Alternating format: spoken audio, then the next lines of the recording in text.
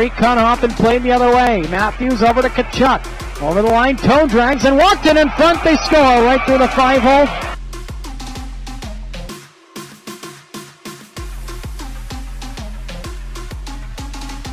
Tkachuk shot, he scores.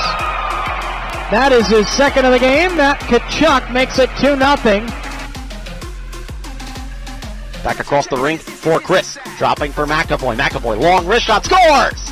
Tkachuk in front, I believe, got a piece of it. And Team USA has struck on the power play for a fifth time this weekend. Matt Tkachuk.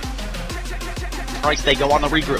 McAvoy quickly ahead for Roslovic in front. Down the seam, Tkachuk shoots and scores! Matt Tkachuk got just the littlest bit of space in the slot and Roslovic found him.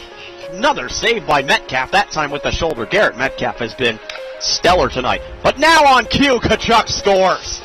The hat trick for Matt Tkachuk as Roslovic did not give up on the play after his shot was denied in front.